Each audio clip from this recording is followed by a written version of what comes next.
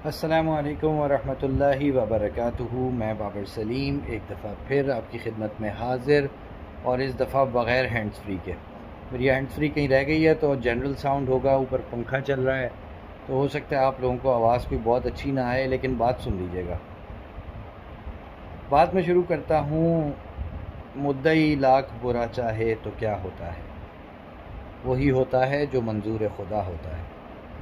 जब अल्लाह रब्बुल इज़्ज़त फ़ैसले कर लें तो दुनिया की कोई ताकत उन फ़ैसलों को ना तब्दील कर सकती है, ना उन फ़ैसलों पर असरानंदाज हो सकती है, ना दुनिया की कोई कोई ताकत, दुनिया में कोई बड़ी से बड़ी ताकत, उन फ़ैसलों को एक माइक्रोमीटर, माइक्रो सेंटीमीटर भी नहीं हिला सकती अपनी जगह से।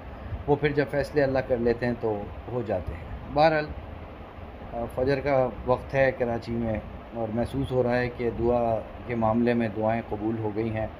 मैं कोई दावा नहीं कर रहा, किसी किस्म का दावा नहीं है मेरा, बिल्कुल भी। लेकिन कुछ चीज़ें होती हैं जो इशारे बता देते हैं।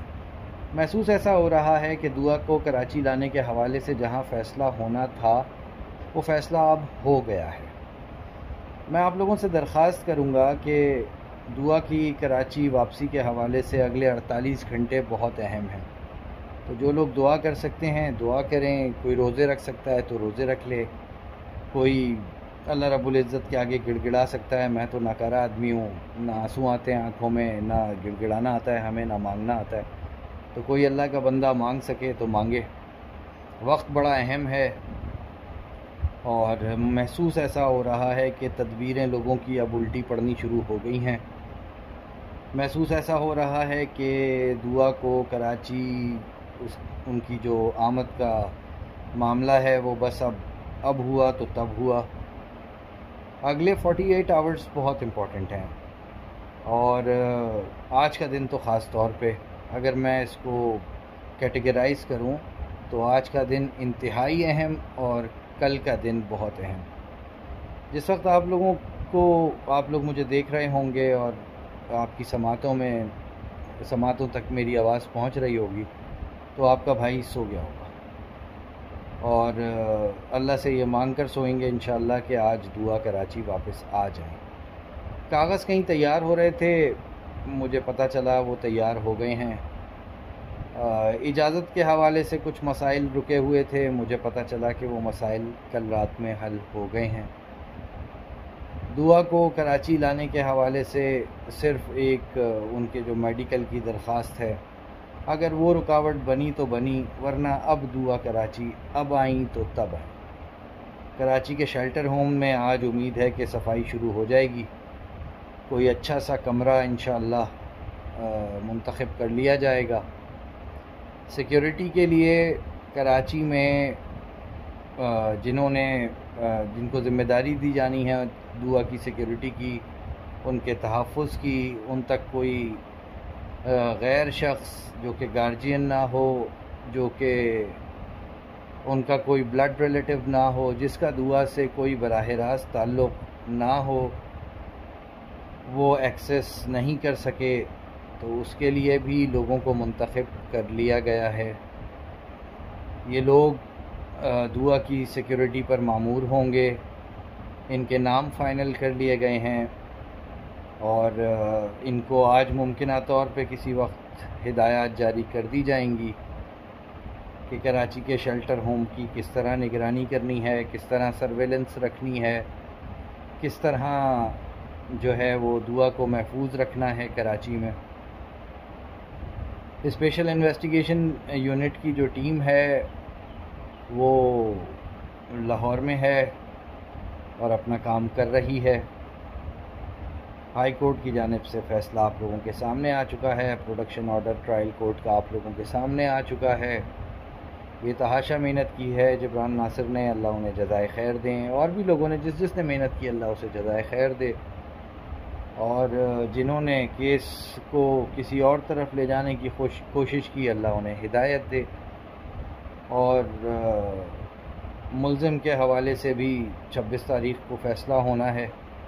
खैर, उस पर मैं कमेंट नहीं करता। मेरे मेरे पास जो रात को इतलात आई हैं, बल्कि रात क्या? दिन में जो इतलात मतलब अला सुबह, रात से इतलात आती रहीं, सुबह तक मैं उनको रोक के बैठा हुआ था। अब सोने का वक्त करीब है, नींद करनी है कुछ। तो सोचा उससे पहले आप लोगों तक कुछ इशारों के नाइयों में बात पहुँचा दी जाए। क्योंकि मैं सिर्फ़ सुबह जो आ, मेडिकल के हवाले से दरख्वास्त है आ, उसके फ़ैसले पर मुझे थोड़ा सा आ, आप कहें कि वो है क्या कहते हैं अल्फाज मुझे नहीं मिल रहे माजरत। उसके फ़ैसले पर मैं थोड़ा सा जो है ना वो ठिटक रहा हूँ ठिटक रहा हूँ। अदरवाइज़ तैयारियाँ पूरी हैं, काम पूरा है, कागज़ पूरे हैं और मेरे ख़्याल से आज दिन में किसी वक्त अल्लाह करे ऐसा हो जाए कि टिकट भी कटवा दिए जाएँ, टिकट हासिल कर लिया जाए, वरना परसों तो इन हो ही जाएगा, अल्लाह ने चाहा तो। तो जो लोग दुआ मांग रहे थे मैं कह सकता हूँ मुझे गुमान है। देखें मेरी किसी बात को ना ऐसे नहीं ले लीजिएगा कि मैं कह रहा हूँ कि दुआ अभी आई आ गई पहुँच गई बस आ रही है ऑर्डर हो गया। जो तरीक़ाकार है जो जबता है किसी को एक सूबे से दूसरे सूबे तक लाने का वो तमाम मराहल रुके हुए थे वो पूरे हो गए हैं। और अगर सुबह मजिस्ट्रेट साहब लाहौर में आ, कोई फ़ैसला नहीं देते हैं और दुआ की जानब से अपेयर होने वाले लॉयर्स जो हैं, जो वकला हैं, वो जज साहब को सिंध हाई कोर्ट का ऑर्डर पढ़ा देते हैं और वो उसको पढ़ लेते हैं और उसके बावजूद भी कोई डिसीज़न दे देते हैं। तो फिर तो मैं मैं क्या कोई भी कुछ नहीं कह सकता। बाकी जो दीगर इदारे और महकमे हैं, जिन्होंने दुआ को रखना है, देखना है, देखभाल करनी है, उनकी तरफ़ से सारे काम पूरे हो गए हैं। और तैयारियाँ मुकम्मल हैं। अल्लाह करे ऐसा हो कि मैं सो रहा हूँ और आप में से कोई मुझे फ़ोन करके उठा दे और बताए दुआ जो है वो कराची के लिए रवाना हो गई हैं। और अगर ऐसा नहीं हो तो मैं जाग जाऊँ तो अल्लाह करे ऐसा हो कि मुझे ये ख़बर मिल जाए और मैं आप लोगों को बता दूँ। तो बहरहाल, मुख्तसर ये कि मुद्दई लाख बुरा चाहे तो क्या होता है? वही होता है जो मंजूर खुदा होता है। अल्लाह रब्ज़त का शुक्र अदा करने का इन वक्त करीब है। दुआ बहुत जल्द कराची में होंगी। और आप लोग जो है अब बहुत ज़्यादा जो फ़िक्र है, और उसको बहुत ज़्यादा दुआओं में तब्दील कर दें। जो बहुत ज़्यादा तजस्स है लोगों को, उनसे दरख्वास्त है कि वो अपने तजस को दुआओं में तब्दील कर दें।